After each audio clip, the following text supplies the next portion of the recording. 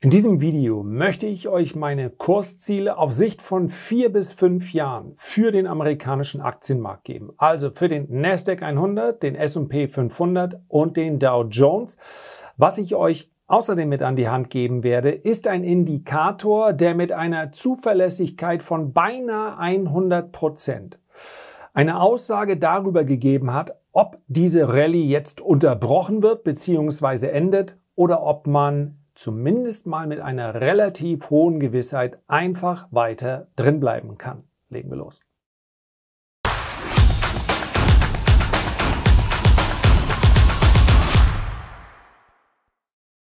Ich begrüße euch ganz herzlich hier auf dem Tradermacher-Kanal. So, wir schauen gleich auf die Kursziele vom Nasdaq 100, Dow Jones, S&P 500 und ich werde euch auch zeigen, warum es durchaus Sinn macht, zumindest mal in der aktuellen Ausgangssituation als Trader genau auf diese Indizes zu schauen. Auch wenn nämlich der DAX in den letzten Monaten sich ja ganz ordentlich entwickelt hat, es lässt sich sehr leicht erkennen, dass er insgesamt wesentlich trendschwächer ist. Und wir lassen hier mal außen vor, dass wir ja sowieso schon Performance- und Kursindizes hier miteinander vergleichen. Das heißt also, der deutsche Aktienmarkt ist und bleibt voraussichtlich auch schwächer als die amerikanischen Indizes. Vorab aber ein kurzer Hinweis, ja, ich liebe es ja, mir auch Kritik einzuhandeln, beziehungsweise ganz bewusst mal die Chance entstehen zu lassen, dass ich daneben liege. Ja, das gelingt. Und äh, deswegen habe ich auf äh, LinkedIn in dieser Woche beziehungsweise am Wochenende, am Sonntag war das, äh, einen schönen Post eingestellt. Nvidia, Dummheit der Woche. Ich habe nämlich hier eine Korrekturansage gemacht. Ihr seht den blauen Pfeil, also wer Lust hat, sich das Ganze anzusehen, der schaut da mal vorbei. Ähm, ja, genug des Grinsens. Vielleicht kommt es ja auch ganz anders. Wir blicken zuerst auf den Nasdaq 100.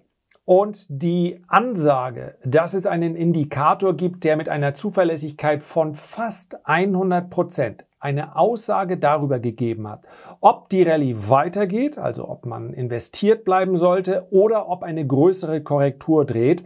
Dieser Indikator, das lässt sich hier leicht belegen, ist einer, der normalerweise im Trading auf niedrigeren Zeitebenen, insbesondere im Daytrading und im kurzfristigen Swing Trading, benutzt man ihn sehr gern der dort zur Anwendung kommt. Das ist nämlich der 21 Tage Durchschnitt. In diesem Fall ist es der 21er Durchschnitt. Das ist diese blaue Linie auf Monatsbasis. Ja, jede Kerze, die ihr hier seht, das ist ja ein Chart, der sich über die letzten 10, 12, 13 Jahre erstreckt.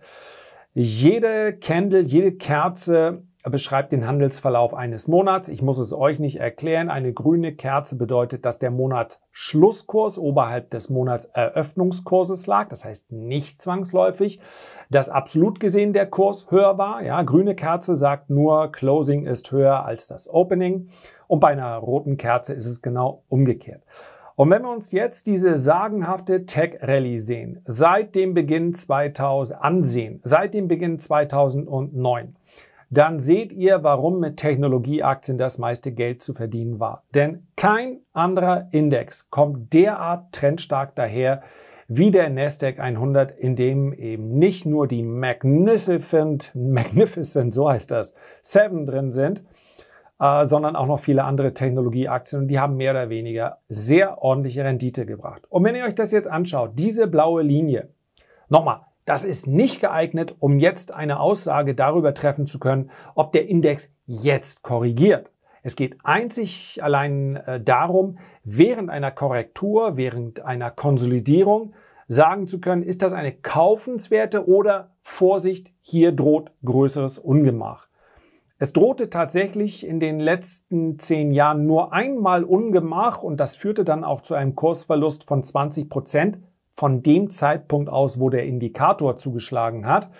Nämlich immer dann, und deswegen werdet ihr auch erkennen, ist es für den aktiven Handel eigentlich nicht so gut zu gebrauchen, immer dann, wenn eine Monatskerze diesen äh, 21er Durchschnitt unterschritten hat und dann nicht direkt wieder gekauft wurde. Denn hier ist es einmal im Jahr 2018, wir erinnern uns alle an das schwache vierte Quartal, hier im logarithmischen Chart kaum noch zu erkennen, aber es ist hier passiert, wurde allerdings direkt wieder gekauft.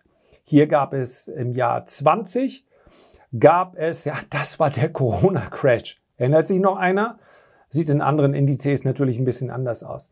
Hier gab es zwar zeitweise ein Unterschreiten des 21er Durchschnitts, aber nicht zum Schlusskurs. Dann ging es weiter aufwärts. Und dann gab es hier im Jahr 22, als diese Corona-Rallye dann korrigiert wurde, gab es das Unterschreiten und in der Folge ging es dann auch, ja, wenn wir uns den Schlusskurs anschauen, 12.800 im Tief bis etwa 10.300. Also ein bisschen no, 20, 22, 23 Prozent aus dem Kopf heraus. So. Wir haben mittlerweile diese Linie wieder überschritten. Wir schauen die uns gleich äh, auch noch bei den anderen Indizes an, nur um einmal zu belegen, was ich eingangs sagte. Der DAX ist ein trendschwächerer Index. Dort funktioniert diese Herangehensweise nämlich nicht. Ja, hier wird der gleitende Durchschnitt dauernd unterschritten. Wir haben es also in Schwächephasen häufig mit einem Index zu tun, der dann stärker fällt als andere Indizes. Und in bullischen Phasen zeigt er dann durchaus auch seine Stärke, aber wir sehen, es kann nicht mal ansatzweise mit dem mithalten, was wir im Nasdaq 100 sehen. Im Übrigen auch nicht in den anderen amerikanischen Indizes. Das hat jetzt nichts mit einem Value-Ansatz zu tun. Der Gedanke, dass möglicherweise europäische Aktien billiger sind, einzelne Branchen und, und, und. Das alles tut hier nicht zur Sache. Es ist eine technische Analyse und auf die möchte ich mich heute auch beschränken. Ihr könnt übrigens Gerne mal. Ich weiß, dass viele von euch ja aktiv handeln, traden auf den verschiedensten Zeitebenen. Solche Beobachtungen, wie jetzt in diesem Fall der 21er Durchschnitt auf Monatsbasis, die gibt es selbstverständlich auch in anderen Basiswerten mit anderen Durchschnitten. Und das ist so ein, es sind sehr einfache Tools, sehr einfache Instrumente. Man muss ja noch nicht mal an Charttechnik glauben. Das, wenn wir uns das nochmal ganz kurz im Nasdaq anschauen, das ist ja etwas, was jetzt nicht erst seit 2008, also mit neuer, lockerer Geldpolitik oder sonst irgendwie zu tun hatte. Also man darf ja durchaus in die Jahre davor gehen und sieht ein ähnliches Verhalten. Das hätte wenn wir hier die, die, die meisten von euch sind, weil ihr natürlich jugendlich knackig seid, werden sich gar nicht mehr dran erinnern, aber äh, ich kann mich an das Platzen der Dotcom-Blase erinnern. Und dieser einfache Indikator, der im Prinzip in den US-Indizes immer funktioniert, hätte auch hier gesagt, beim Platzen der Dotcom-Blase, auch wenn man vielleicht auf die Idee gekommen hätte, naja, der Index hat ja schon 30 Prozent korrigiert, soll ich jetzt noch aussteigen? Ja, er ist dann in der Folge nochmal massiv eingebrochen. Und seitdem funktioniert dieses relativ simple Spiel. Es ist nicht mehr als ein Hinweis. Es ist natürlich nicht, ersetzt dann nicht die Analyse auf niedrigeren Zeitebenen, weil du natürlich im Regelfall versuchst dann früher eine Bewegung zu erkennen und nicht erst, wenn wir vom Top dann schon 10 oder 20 Prozent abgegeben haben. Es ist dennoch ein ganz interessanter Hinweis und wie gesagt, wenn ihr Lust habt, dann schreibt mal eure Erfahrungen, was ihr so auf Tagesbasis oder auf Wochenbasis benutzt Schreibt das gerne mal in die Kommentare und, äh, unten rein. Dann hat so eine Community einfach auch einen Mehrwert für uns alle letztlich. Ich werde mir natürlich die Kommentare dann auch sehr gerne durchlesen. So, jetzt schauen wir auf die anderen. Ah nein, selbstverständlich. Hallo. Was war denn hier die Ansage? Meine Kursziel für 2024. Der Nasdaq 100 darf und jetzt kommt ein bisschen Wunschvorstellung rein, weil eigentlich kann ich euch natürlich nicht sagen, ob wir jetzt so, so, so steigen oder ob wir so steigen, dann so, so. Ich erwarte insgesamt etwas mehr Volatilität. Aber nur der Hinweis, wo handelt derzeit der 21er Durchschnitt bei 13.300? Man sieht es auch hier oben. Das heißt, wir nehmen jetzt einfach mal an, dass wir vielleicht noch eine Korrektur sehen vorher. Ansonsten komme ich nicht umhin, für das nächste, für die nächsten Jahre deutlich höhere Kursziele auszumachen. Und das, wenn ihr euch das ansieht, würde jetzt letztlich nur eine Bewegung bedeuten, die sich so fortsetzt wie die in den letzten Jahren. Das sieht unspektakulär aus. Theoretisch könnte man es auch steiler zeichnen und denkt immer dran, dahinter steht nur ein fundamentaler Satz. Dahinter steht natürlich immer eine Devaluation, wenn ihr so wollt. Das heißt, in so einer Phase wird sehr wahrscheinlich die Kaufkraft massiv sinken.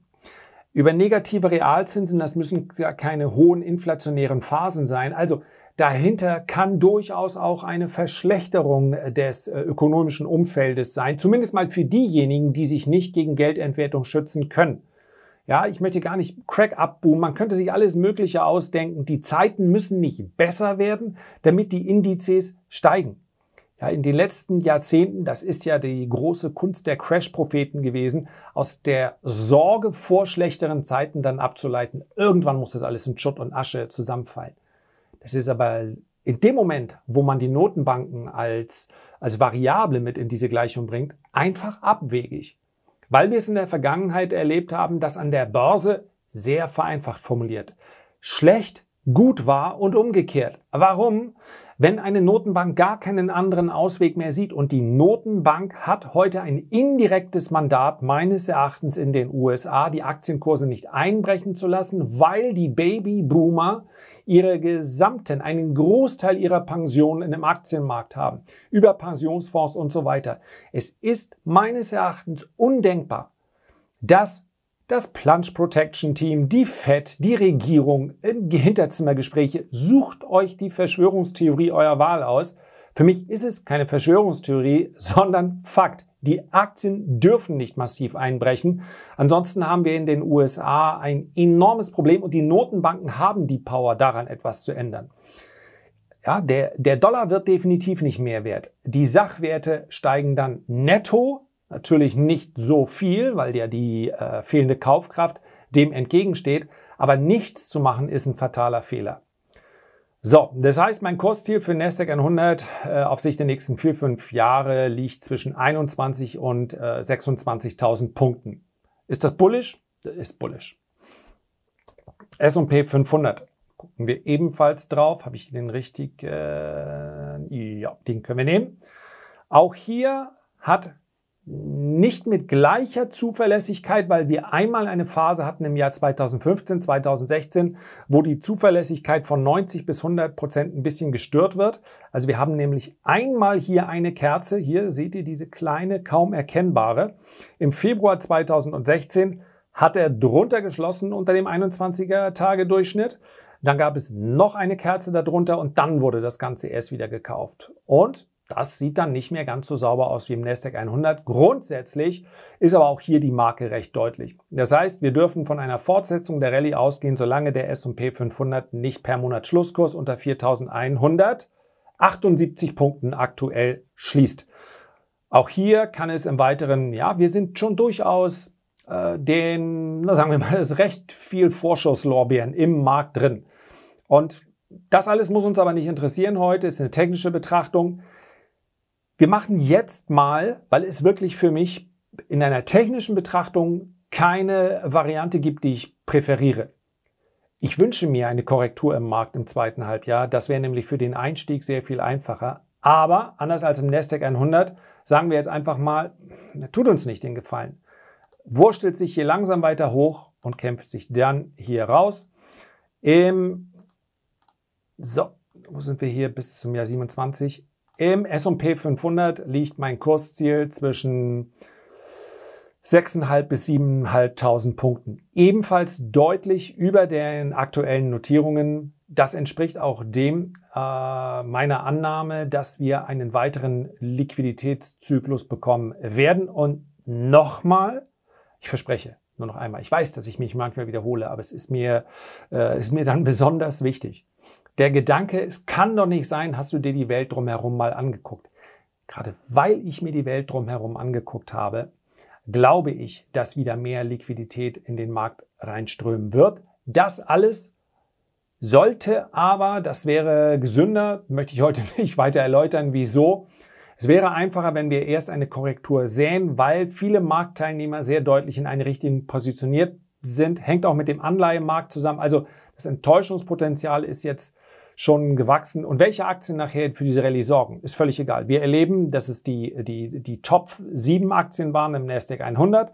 Es könnte aber genauso gut der breite Gesamtmarkt sein. Es könnte auch zig Gründe dafür geben. Energie wird wahrscheinlich sehr viel billiger werden, global betrachtet in den nächsten zehn Jahren. Es könnte sein, dass AI-Entwicklung zu mehr Effizienz führt und, und, und. Die Gründe sind für eine technische Betrachtung oder wie es andere nennen, Kaffeesatzleserei, erstmal egal. Und zum Schluss schauen wir noch, nein, den wollte ich doch nicht, da brauche ich natürlich einen längeren. Ähm, den hier, den schauen wir uns auch noch an. Dow Jones Industrial, äh, da ist der äh, Indikator, der, Dow, der Nasdaq 100 ist der stärkste, S&P 500 ist der zweitstärkste Index, der Dow Jones ist momentan technisch sehr stark, aber äh, in the long run natürlich, weil er nicht die Aktien drin hatte, die zuletzt so außergewöhnlich performt haben. Ähm, deswegen äh, finde ich hier den gleitenden Durchschnitt nicht so interessant. Auch hier wurde der zweite gleitende Durchschnitt, den ich immer benutze, den 100er, äh, praktisch nie unterschritten. Aber ganz ehrlich, das würde ich dann auch im Bereich der äh, Beliebigkeit einordnen, weil es hilft mir natürlich nicht, wenn wir jetzt bei 35.000 Punkten sind, dass ich dann, wenn 26.000 Punkte unterschritten werden, sagen kann, oh, hoppala, da könnte eine Korrektur anstehen. Ja, 10.000 Punkte tiefer ist das natürlich nicht mehr ganz so interessant. Und wir sehen, dass hier der 21-Tage-Durchschnitt permanent unter- und überschritten wird. Er ist halt insgesamt etwas trendschwächer. Ändert nichts daran, dass sich im S&P äh, Dow Jones, Entschuldigung, ebenfalls bis 2070 höhere Kursziele sehe. Der könnte meines Erachtens äh, allerdings etwas volatiler laufen, aber auch hier sind die äh, Kursziele für das Jahr 2027 höher. Dabei belasse ich es einfach mal und freue mich auf eure Kommentare. Schönen Abend, bis dann und ciao.